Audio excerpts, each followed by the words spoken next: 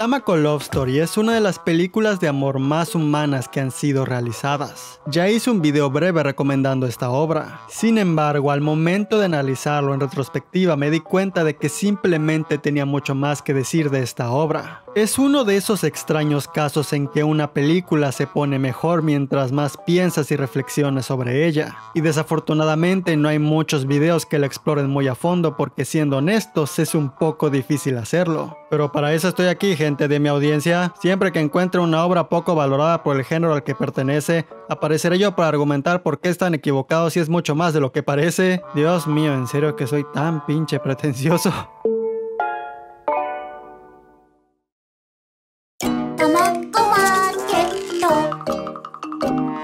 Una de las cosas que más me ha sorprendido al investigar sobre las opiniones generales que tiene Tamako Love Story es encontrar a la enorme cantidad de personas que han visto esta película sin saber que se trata del final de una serie, lo cual me parece un poco desafortunado. No sé qué tanto se recomienda el filme en las comunidades de anime, pero ver la serie es medio indispensable para captar al 100% todo lo que ocurre. No es que la película no pueda sostenerse de forma independiente porque sí, y de hecho también sé de personas que la han visto y la han amado sin siquiera saber sobre la existencia de Tamako Market. Wow, this is epic. Por sí sola, la película te explica o referencia a las cosas que necesitas saber para que la entiendas, pero no es lo mismo recibir una justificación a ver cada uno de estos eventos mientras ocurren. Es como ver Infinity War o Endgame sin el contexto de todas las otras películas de Marvel, puede que las entiendas y las disfrutes, porque por sí solas son bastante comprensibles y se encargan de explicarte lo que necesitas necesitas saber para captar lo que ocurre, pero al mismo tiempo te estás perdiendo de todo el viaje y la experiencia que hace a varias de sus escenas satisfactorias. Igualmente, el inconveniente de ver primero Love Story antes de Market es que la experiencia de ver el salto de calidad de una obra a otra es eliminada por completo.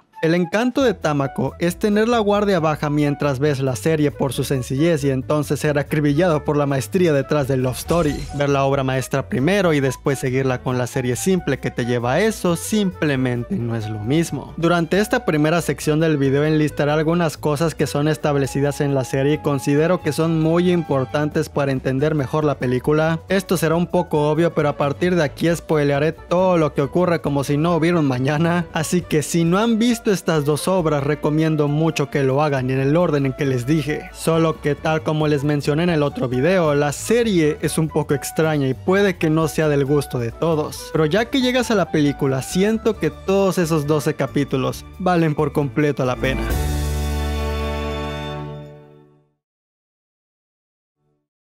Tamako Market se trata de un slice of life centrado en el año más extraño de la vida de una chica sencilla llamada Tamako. Ella es la hija de un vendedor de mochi bastante firme y cerrado solo a lo tradicional, hermana de una pequeña llamada Anko que ya tiene mente de adulto, amiga cercana y vecina de Oji Mochisu, el hijo de otro vendedor de mochi cuyo local se encuentra justo enfrente de la tienda del papá de Tamako, por lo que obviamente ambos padres mantienen esta especie de rivalidad.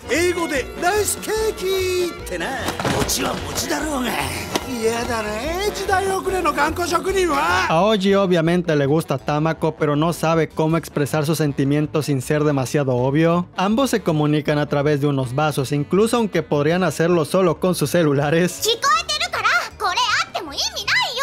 Pero a Oji le gustan los vasos porque le hace sentir que su lazo es mucho más especial que una amistad tradicional. Y Tamako nunca cuestiona nada porque su mente siempre está en las nubes pensando en lo mucho que le encanta el mochi y lo colorida que es la vida.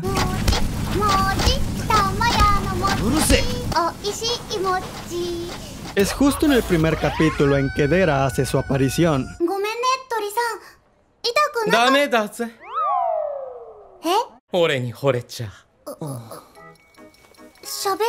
¿Se trata de un pájaro mágico y extraño que puede hablar y se cree la gran cosa? Él llega a este mercado en Kioto por accidente mientras está en busca de una esposa para el príncipe de la isla de donde viene, pero es recibido en este lugar con tanta hospitalidad que decide quedarse por tiempo indefinido mientras le agarra cariño a todas estas personas.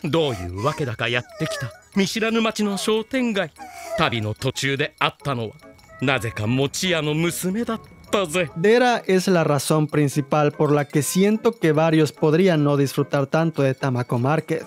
El estilo de humor que lo caracteriza definitivamente no es para todos y los mejores capítulos son aquellos en que él no es el enfoque principal. Sin embargo, al ver la serie en retrospectiva, su presencia y la de la trama del príncipe que lo acompañan son indispensables para entender el objetivo de la serie. Es a través de Dera que uno como espectador llega a conocer a todas las personas que habitan este mercado.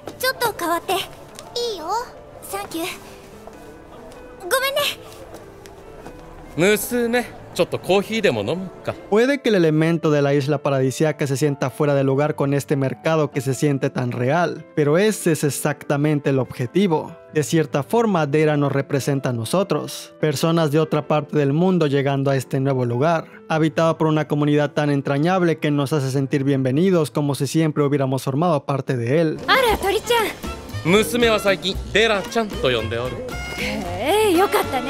Incluso aunque su humor puede resultar un poco molesto en ocasiones, él es crucial en cada episodio para resolver los pequeños conflictos que se suscitan. Y a pesar de todo, siempre sabrá qué decir cuando los personajes lo necesitan, incluso aunque sea a su manera.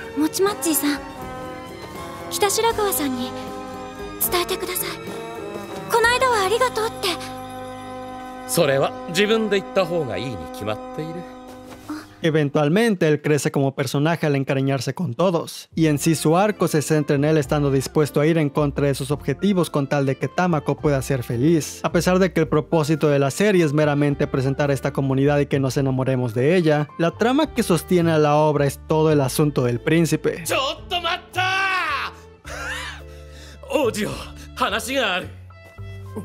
Justo en el capítulo 6, Choi Mochimasi hace su aparición una divina y mano derecha del príncipe de aquella isla. Ella viene buscando a Dera porque pues el güey se quedó tanto tiempo en el mercado que ni siquiera pudo comunicarse con la gente de su tierra y de la misma forma que el pájaro acaba enamorada de esta comunidad pero se encuentra completamente enfocada en encontrar a la esposa de su príncipe.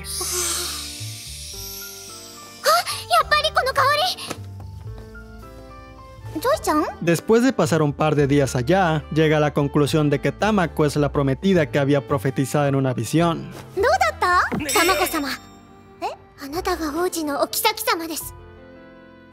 El conflicto de los últimos episodios se centra en la crisis causada por esta revelación, la cual fue un poco presagiada por uno de los capítulos pasados, en que este vendedor que está enamorado de la hija del dueño de unos baños termales del distrito descubre que ella está interesada en casarse con otra persona.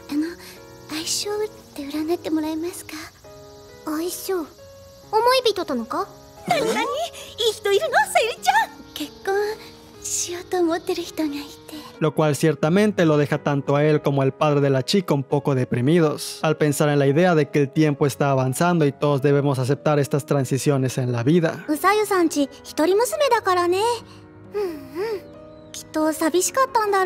De la misma forma, ahora Tamako recibe esta oferta. ¿Eh?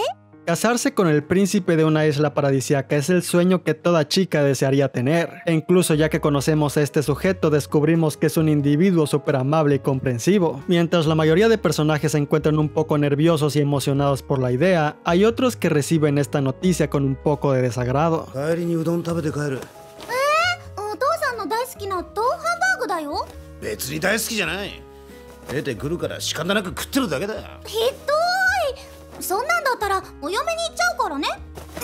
Primero el padre de Tamako, puesto que la actitud tan positiva de su hija es lo que lo ha ayudado a seguir adelante luego de que su esposa falleciera. Luego está Oji, quien de la misma forma que aquel vendedor siente como si el tiempo se le hubiera terminado para confesar sus sentimientos, y jamás tendrá una oportunidad para decirle a Tamako que le gusta. Tamako, Tamako también tenemos a Midori, la mejor amiga de Tamako, que por cierto, hablaré de ella en otra sección del video porque Midori merece su propio apartado solo para explicar todo lo que pasa dentro de su cabeza. Finalmente, otro personaje que también recibe la noticia con incertidumbre es Dera. Después de haber pasado todo un año con Tamako, él sabe lo mucho que el mercado significa para ella, a la vez que entiende lo mucho que Tamako importa para el mercado Podrías argumentar que la razón por la que todos son tan unidos es gracias a su optimismo. Desde el trágico fallecimiento de su madre, todos han intentado dar lo mejor de ellos mismos para que ella y su familia puedan ser felices. Y ella ha aceptado todo este cariño con incluso más cariño de su parte, lo cual termina contagiando a todos los que visitan este lugar. ったくどうした急にあの時も昼間なのにみんなお店閉めちゃってえごめんなんかなんかね Ahora, al ver la forma en que todos actúan con ella, considerando que ella terminará yendo con el príncipe, hacen que por primera y única vez en toda la serie se sienta frustrada y confundida.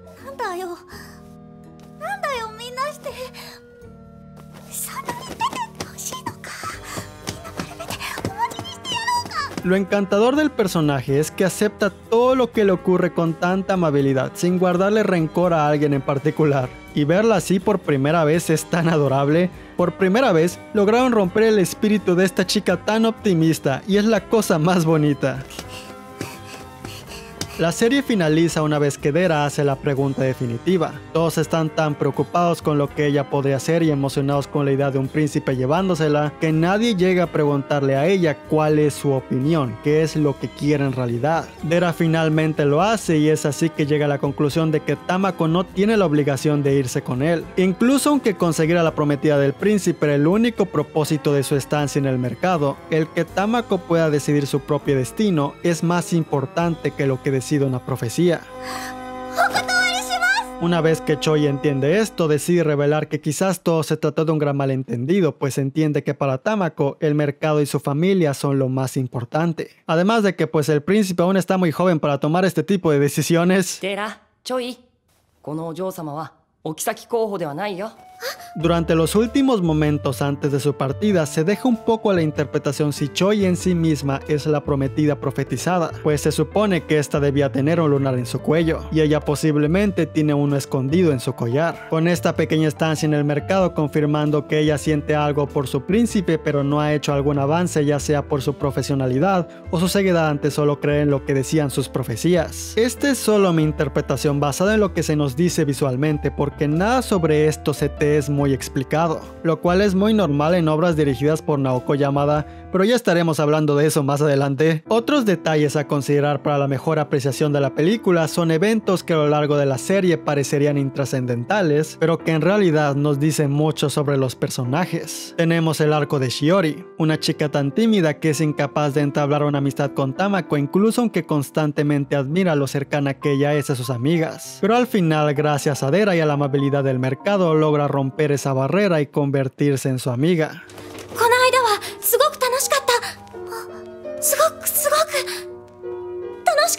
Anko, la hermana de Tamako, pasa por uno de los arcos más pesados de la serie. Al no tener muchos recuerdos de su madre, a ella se le dificulta sentir esa conexión con la comunidad de la misma forma que Tamako. A diferencia de su hermana, ella siempre está pensando en el futuro e incluso a su corta edad ya está empezando a sentir sentimientos románticos.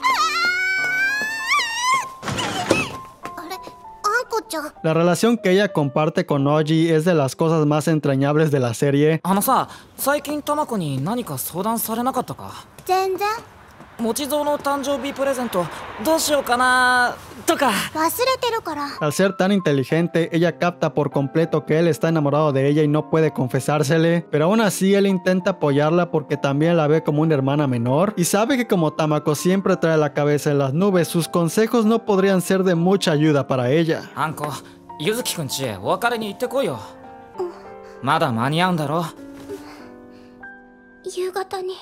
に行ってこいよまだ間に合うんだろ夕方に車でこっちを出るってじゃあ今すぐ行ってこい Una vez que acaba la serie, su personaje no solo madura respecto a expresar sus sentimientos con otros, sino también comprende el encanto de su comunidad y cómo a pesar de no recordar tanto sobre su madre, su voluntad y sueños se encuentran alrededor de todo este mercado y la tienda de Mochi.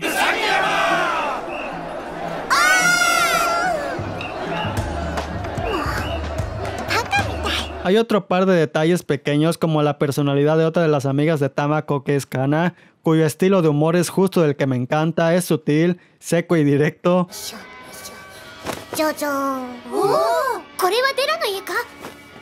Ella le encanta la precisión, siempre está midiendo cosas, es carpintera, inteligente, tiene los planes malévolos de convertirse en la jefa del equipo de batón incluso aunque Midori es quien acaba siendo elegida.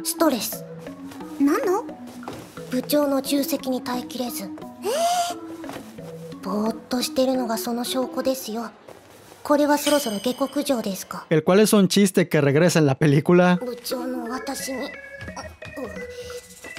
思い出をくださいカンナ部長は私 Al igual que el hecho de que Oji accidentalmente le dice papá al padre de Tamako. もち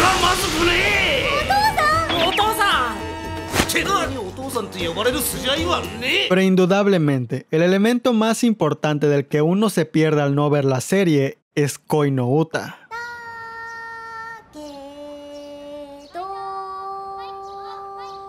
Una de las pequeñas subtramas que se te establecen desde el primer episodio es como Tamako ha pasado años buscando una canción que solo recuerda muy vagamente. Sabe qué tonada tiene, pero jamás ha podido encontrarla.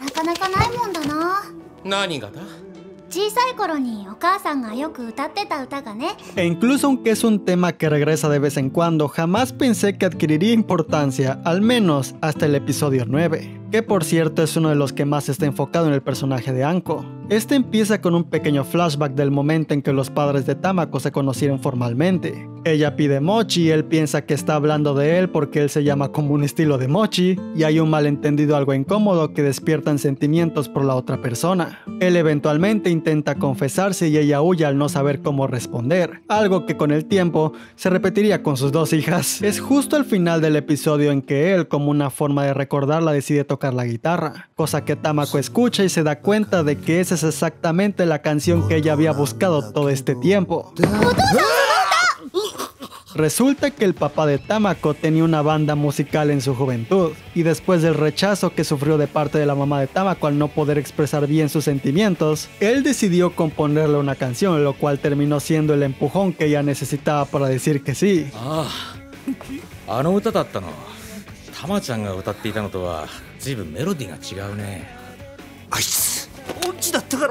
esta revelación es una de las partes más adorables y mejor logradas de la serie, pues es un pequeño misterio que podrías poner a segundo plano por todo lo demás que ocurre, pero entonces te lo revelan, te agarra con la guardia baja y pues es la cosa más bonita. Es imposible no enamorarte de la serie y sus personajes en este momento. Y como mencioné, es muy importante haber pasado por todo este viaje para que Love Story tenga efecto, pues aunque te expliquen el asunto de la canción, no es lo mismo que te digan en una escena, oh sí, el señor le compuso una canción a su esposa cuando eran jóvenes. A ver toda la serie con la construcción de este pequeño misterio, ver su resolución y entonces ver cómo temáticamente la existencia de esta canción juega un rol muy importante en este filme, sirviendo tanto como el opening como el ending, con ambas versiones de la misma canción teniendo un significado diferente. Pero bueno, a este punto creo que ya he cubierto la mayoría de cosas importantes presentes en la serie, las que me faltan las abordaré en un momento, así que me parece que es el momento perfecto para finalmente hablar sobre esta película.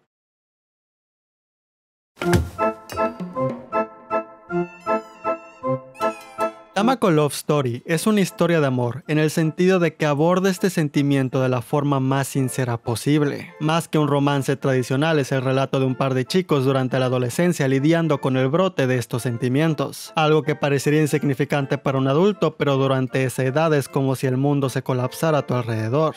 Estructuralmente, el filme está dividido en dos mitades. La primera encargada de mostrarte la perspectiva de Oji Mochizu y la segunda de Tamako. Después de un pequeño cortometraje que te muestra que todos los personajes de la isla la están pasando bien y no intervendrán en la trama de Love Story, la película procede a mostrarnos un pequeño prólogo con Oji explicándonos su historia con Tamako. Ambos crecieron juntos y él estuvo ahí para apoyarla después del fallecimiento de su madre. Ha estado queriendo confesar lo que siente desde hace tiempo, pero la pena no se lo permite. Sin embargo, ahora están a poco de graduarse de la preparatoria y Oji planea perseguir sus sueños de convertirse en cineasta, por lo que planea mudarse a Tokio para estudiar esa carrera. そこの映像科に行こうと思ってさ。マジ？東京だぞ？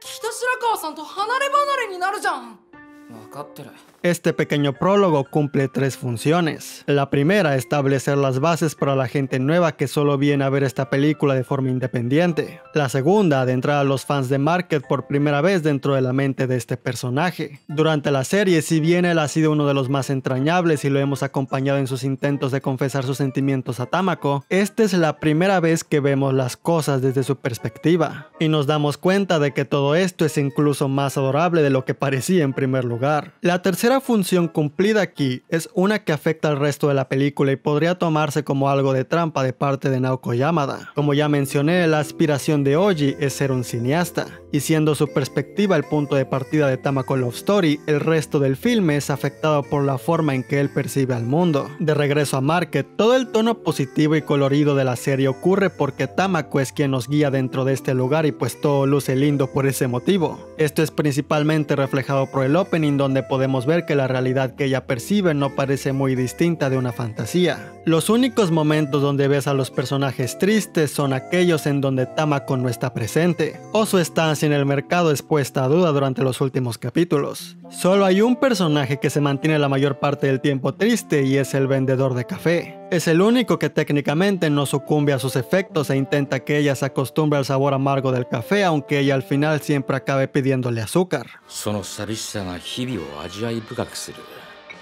コーヒーもまた同じ英語 Volviendo a Love Story, como ahora estamos viendo las cosas desde la perspectiva de un cinéfilo, la película luce diferente a la serie, lo cual es hecho a propósito. Hay una textura un poco más vintage que se siente muy apropiada para el tono y la temática de esta historia. De vez en cuando tendrás flashbacks que intentan imitar el estilo de un viejo proyector de filme. El estilo del opening, a diferencia de la serie, luce como si hubiera sido grabado y editado por el mismo personaje. Incluso la portada del Blu-ray utiliza la estética de un rollo de película para indirectamente decirte esto. Esta decisión también le añade algo de contexto a la serie, específicamente a su ending que también luce como si hubiera sido realizado por alguien con un ojo cinematográfico a diferencia del colorido y encantador opening. Y bueno, a diferencia de toda la serie, metafóricamente ahora con el contexto de la película, lo que este ending realmente nos está mostrando es al mundo desde la perspectiva de Oji y la forma en que él ve a Tamako, como una especie de foreshadowing del tono que tendría la película. Cabe mencionar que la letra de la canción de este opening ocurre dentro de la perspectiva de Tamako, y nos adelanta algo que temáticamente se volvería importante en el filme.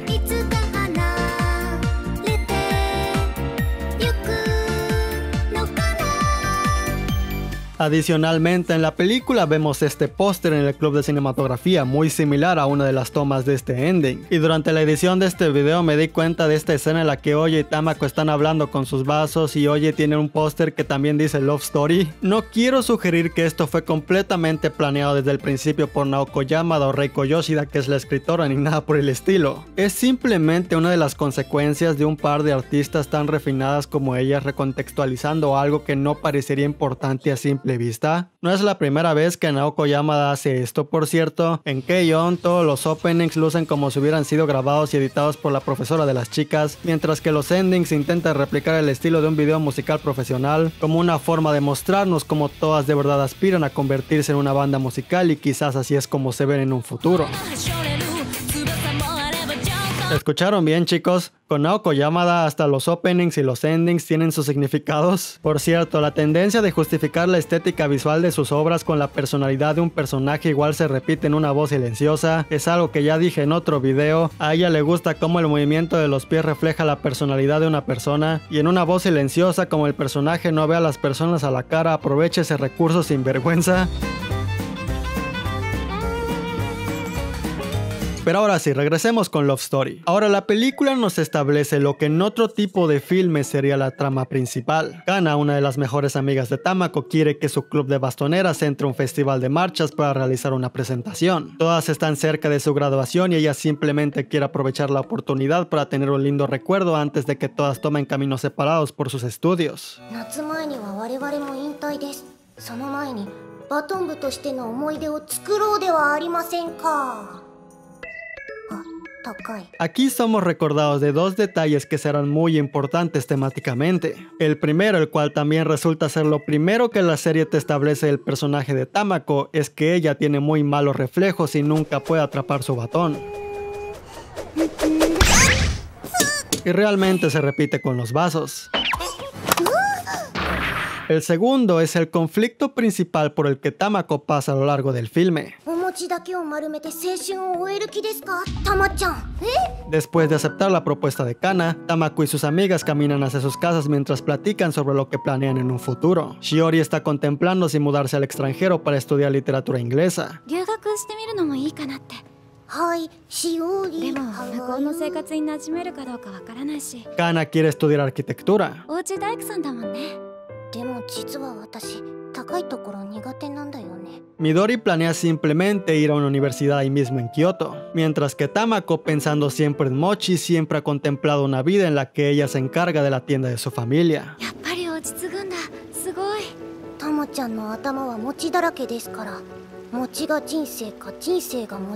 Esta pequeña conversación hace que ella se dé cuenta de que jamás ha pensado en su futuro ni ha tenido muy grandes aspiraciones. Pero inmediatamente lo deja pasar gracias a la hospitalidad tan entrañable de la gente del mercado. Oji entonces intenta confesar sus sentimientos a Tamako de distintas formas, pero falla en el intento, ya sea porque la pena lo domina o porque las cosas simplemente no salen a su favor. Mientras la cabeza de él está siendo dominada y afectada por sus emociones, Tamako simplemente ronda por la vida preguntándose cosas tontas como si mochis con forma de pechos o traseros podrían funcionar para poner a la venta.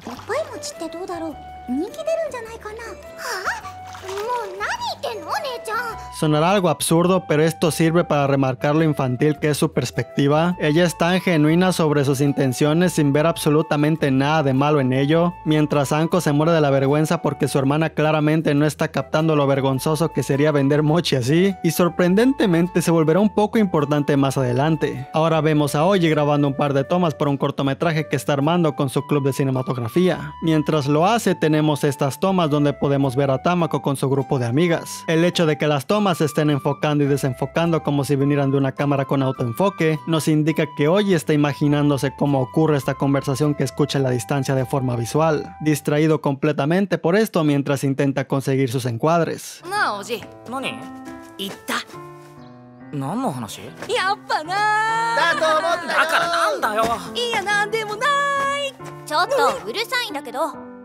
Este pequeño percance, sumado a que por primera vez Oji y Tamako estén en el mismo salón juntos, algo que también es establecido en la serie y referenciado en la película, lleva a Midori a darse cuenta de que Oji está siendo cada vez más evidente con sus sentimientos hacia Tamako, lo cual le frustra porque también le desespera un poco que no haga más que solo observar a la distancia. Ambos tienen una conversación donde ella le permite saber lo desesperante que le parece la situación y él accidentalmente revela que está a punto de mudarse.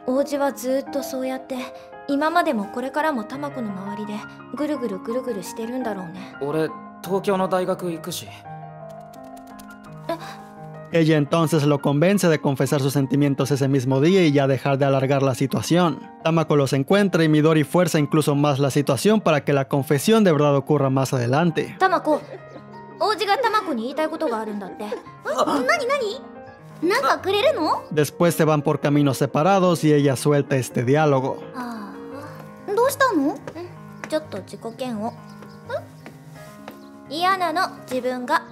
Ténganme un poco más de paciencia chicos, ya llegará el momento de hablar sobre Midori, espérenme un rato más. Después de una breve escena donde los amigos de Oji se dan cuenta de lo que él está a punto de hacer solo por cómo está actuando e intentan levantar sus ánimos, el momento finalmente llega. Gentlemen, it has been a privilege playing with you tonight. Con una duración de 5 minutos y 20 segundos, la secuencia de la confesión es una de las cosas más bellas que han sido realizadas.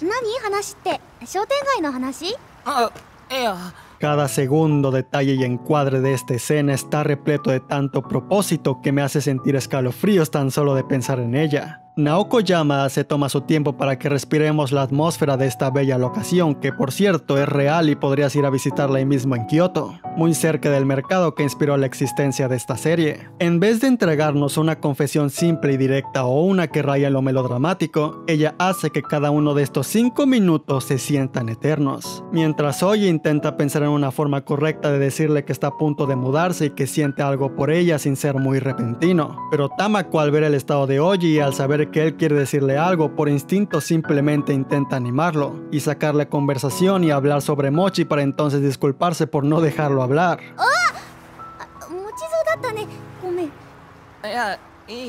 Y ella recuerda que cuando ambos eran niños, él solía molestarla mucho y la tiraba al agua cuando corrían por este puente de piedras. Y entonces empieza a hablar sobre Mochi, toma una piedra y piensa si su Mochi en forma de pechos debería sentirse así.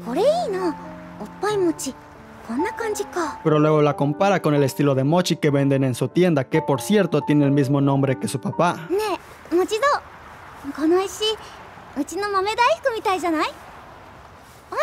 Y de la nada empieza a compararse con Mochi mientras Oji capta que cuando ella habla de Mochi en realidad habla de su madre. Y como en la mente de Tamako la voluntad y el amor de su mamá se mantienen con vida por cada Mochi que preparan y venden en la tienda.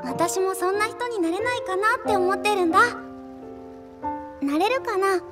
Remarcando incluso más el asunto de la perspectiva de este personaje, tenemos varios flashbacks en que vemos como él veía a la mamá de Tamako cuando eran pequeños. Al igual que varias tomas donde literalmente estamos viendo a Tamako hablando de todas estas cosas desde su punto de vista. La cámara se mueve con nerviosismo, a veces desenfocándose levemente de la misma forma que hace rato. El tono anaranjado del atardecer oscurece en un rojo que te hace sentir como si estuvieras ardiendo por dentro de la misma forma que este tipo. Tamako accidentalmente tropieza y oye la sujeta de su mano para que no se caiga. La piedra que anteriormente ella utilizó para compararla con el mochi de pechos que técnicamente representa a su madre y el mochi con el nombre de su padre cae al agua. Metafóricamente, este es el momento en donde su infancia desaparece, porque a partir de aquí todas esas extrañas e infantiles ideas sobre Mochi desaparecen por completo, y Tamako deja de ser esa persona tan optimista que conocíamos. Es aquí cuando Oji finalmente le revela sobre sus planes de mudarse a Tokio y le confiesa sus sentimientos. タマ